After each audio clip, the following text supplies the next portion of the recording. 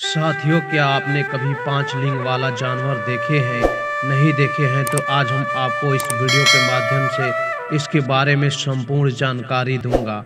आपसे एक रिक्वेस्ट है कि वीडियो के अंत तक ज़रूर बने रहिएगा। साथियों, इस जीव का नाम है एकिडीना यह दुनिया के सबसे विचित्र जीवों में एक है, क्योंकि पक्षियों और मछलियों की तरह अंडे देता है, लेकिन स्तनधारियों की तरह दूध भी पिलाता है। लेकिन इस जीव का सबसे बड़ा रहस्य था इसकी चौमुखी लिंग, जिसे समझने की कोशिश कई सालों से चल रही है। अब जाकर ऑस्ट्रेलिया के कुछ वैज्ञानिकों ने इस रहस्य को सुलझा लिया है। हालाँकि अभी इस जीव को लेकर कई अध्ययन किए जाने हैं, क्योंकि यह जीव रहस्यों का पिटारा है। साथियों, यह जीव ऑस्ट्रेलिया में पाए जाने वाला जीव है। यह ज़मीन खोदने वाला जंगली चूहे जैसे दंतहीन जानवर है। एकेडीना के शरीर में चौमुखी लिंग होता है, लेकिन ये मादा से संबंध बनाते समय इनके सिर्फ़ दो लिंग का ही उपयोग करता है। बाकी दो लिंग शिथिल रहते हैं। नर एकेडीना के पास यह सुविधा प्राकृतिक तौर पर रहती है कि यह एक बार में दो लिंग को ही उत्तेजित कर सकता है। संबंध बनाने के समय यह अपनी उत्तेजना को पहले दो लिंग से दूसरे लिंगों पर शिफ्ट करता है। इसी बात से दुनिया भर के वैज्ञानिकों हैरान थे। साथियों, अन्य स्तनधारियों की तुलना में इनके लिंग का आकार और बनावट भी कुछ अलग है, क्योंकि यह अपने लिंग का उपयोग सिर्फ़ और सिर्फ़ प्रजनन के लिए करते हैं।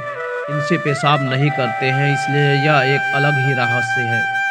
साथियों, एक डीना जानवर के शरीर में कलोका नाम का अंग होता है, जिसका उपयोग वो पेशाब मल के लिए करते हैं। मादा एक डीना इनसे अंडे भी निकालती है। जब लिंग का उपयोग नहीं करते हैं तो उस समय एक डीना अपने पेनिस को शरीर के अंदर छिपा के रखता है। यह पेनिस उसके क्वालाका के अंदर ही रहता है। उत्तेजना के समय यह खुद ब खुद बाहर निकल आता है। इनके अंडकोश हमेशा शरीर के अंदर ही रहते हैं, जबकि आमतौर पर स्तनधारियों के बाहर भी होते हैं।